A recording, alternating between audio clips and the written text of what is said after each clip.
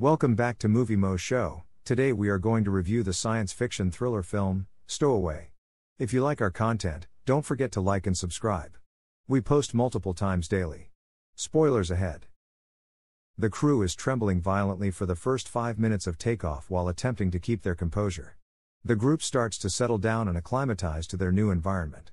Soon after, Michael, a stowaway who is larger than the compartment can hold, is discovered by the commander slash pilot Marina who looks up after spotting some blood on the floor, unscrews a panel, and finds him bleeding profusely. Michael swiftly falls on top of her, breaking her arm. The chamber behind his torso appears to have some damaged equipment. He maintains he does not recall, and someone would have had to screw the panel down from the outside after he was in, so the question of whether he stowed away on purpose is never addressed by the crew. David, the scientist, assists Zoe, the doctor, as she sews him up.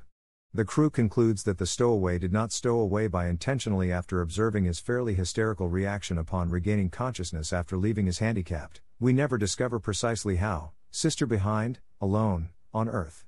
Although it is obvious that Michael is not qualified to be an astronaut, there are a few brief sequences where he works alongside David and eats with the team.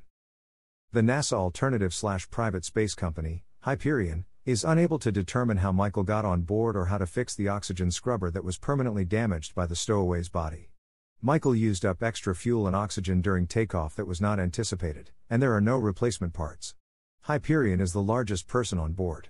In an effort to produce enough oxygen for even three of them to survive without the scrubber, Marina begs David to intensify his algae experiment while using up all of the resources that were planned for his research study on Mars. While this is going on, Marina tries to convince Hyperion to think of a way to survive the journey, other than killing Michael, but despite their best efforts, they are unable to do so. Zoe wants to give Michael more time as they continue to look for a solution. David and Marina disagree, but they come to an agreement on 10 days and are told not to tell Michael. David comes up with a deadly injection and gives it to Michael with an explanation since he is frustrated by the danger that Michael's presence presents to the lives of all the approved astronauts.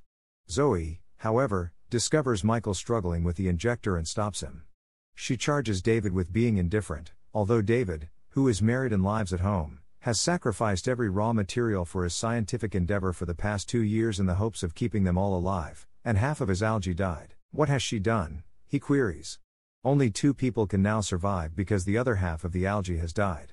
Michael can't physically do it due to a lack of training. It does look very difficult and something that would take a long time to learn to do well, the commander orders Zoe and David to travel to space, where they attempt to walk down long cables connecting the main spacecraft to the rocket that launched them off in the hopes of filling two tanks with any remaining liquid oxygen from the launch craft.